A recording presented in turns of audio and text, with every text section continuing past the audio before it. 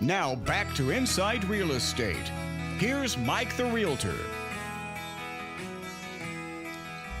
Righty ho, folks. We are back inside real estate, sports, entertainment, politics. Time to talk some insurance. We got Richard Tonihka right here from the Goosehead Insurance brand here in the DFW area, right smack dab in the middle, in the heart of the Metroplex in Arlington. His website, richardtagency.com, richardtagency.com. Mr. Richard Tonihka, how are you? I'm doing well. I didn't know we were going to talk about insurance today. I just came here to just kind of joke around and hang out. Yep. We always love it when you come on down to the studio, hang out and shoot the breeze with us, you know.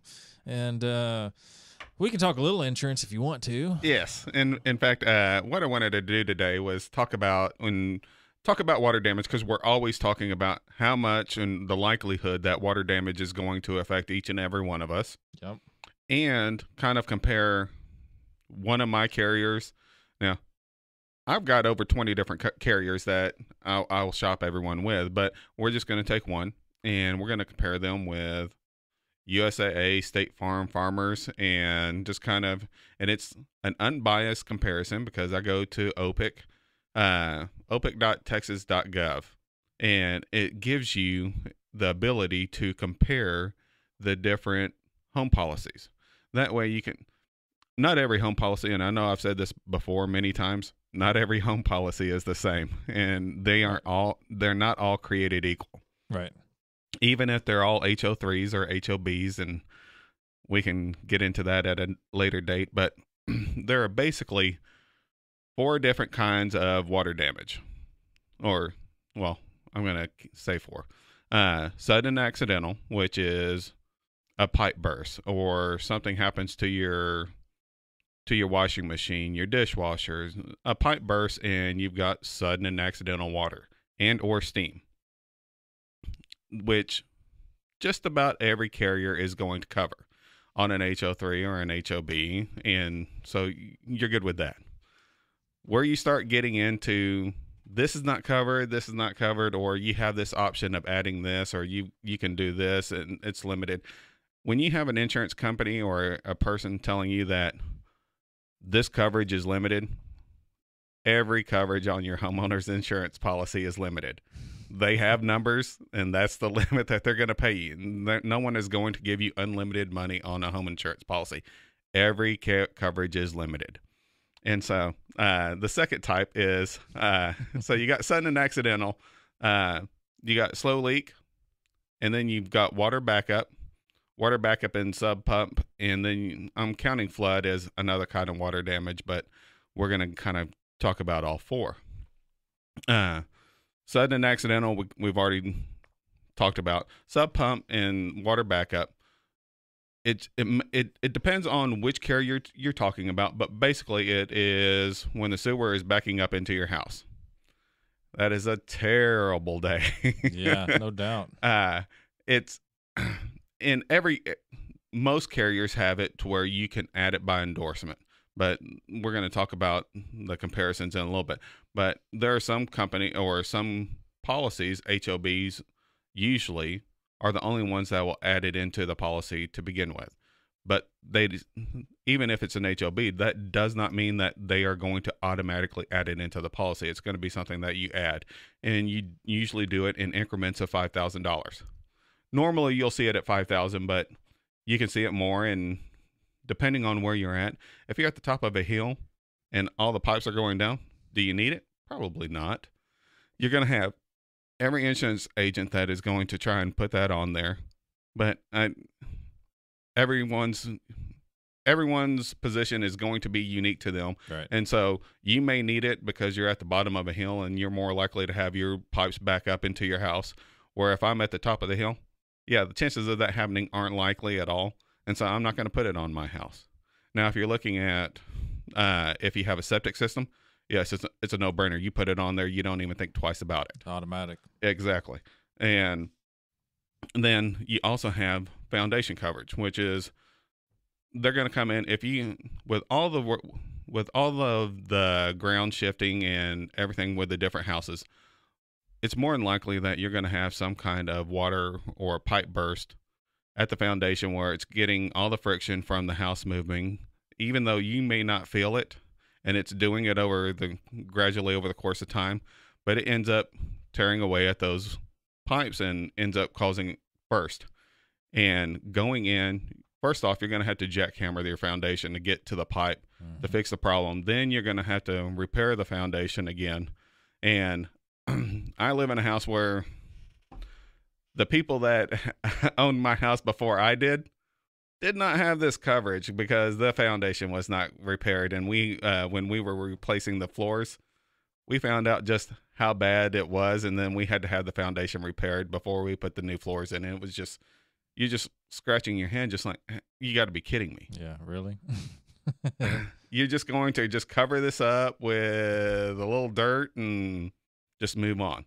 But it, it's it's funny that stuff like that happens, but it and it does. w- uh, and we all have a budget, and we we're going to get things repaired as best we can, and get it taken care of. And that was as good. I guess that was as good as they could get it taken care of before we purchased the house.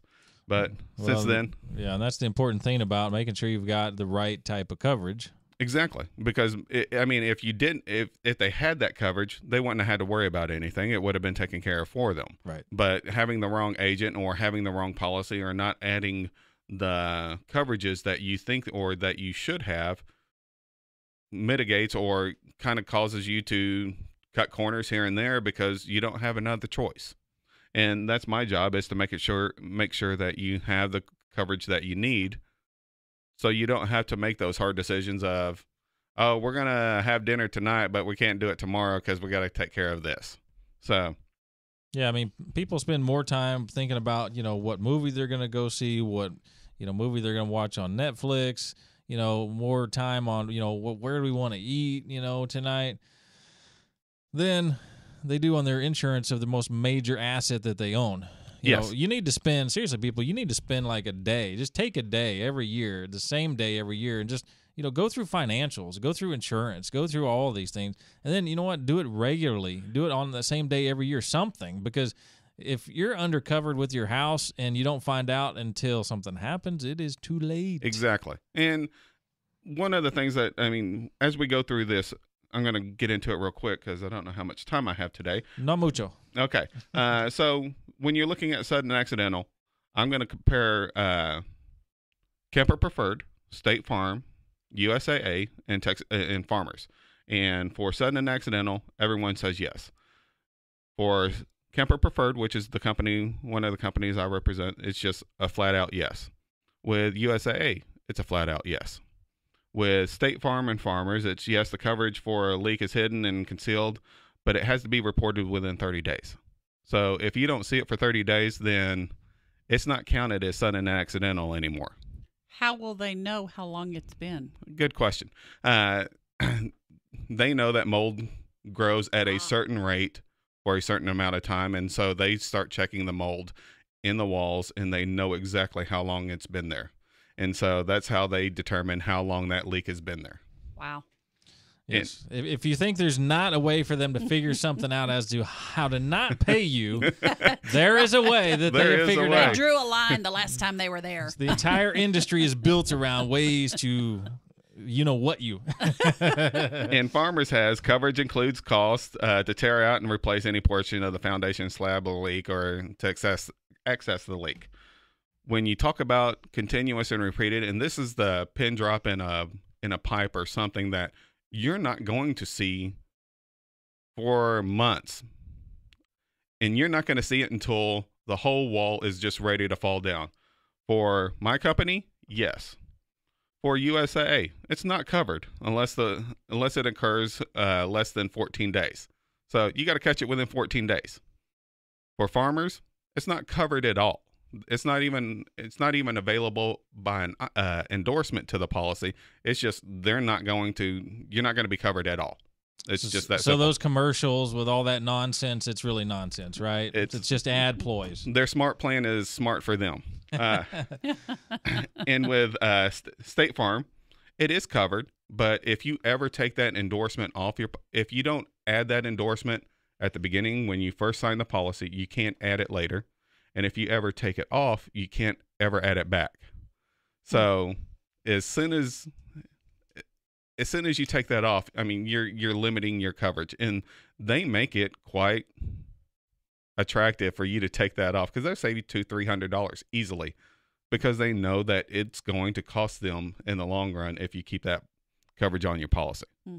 And it's my job just to make sure that, like I like I tell everybody, it's my job to make sure that you're covered and you're paying as little as possible.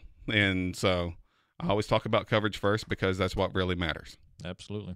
Folks, you need to call Richard Tonic over at Goosehead Insurance. He can shop over 20 companies, figure out the best policy for you. As you can tell by this segment, he cares about you and he's going to go through your situation and make sure you've got the best insurance coverage at all possible, of course, with the best price. RichardTAgency.com is the website. RichardTAgency.com is the website. Folks, short break. Come on back.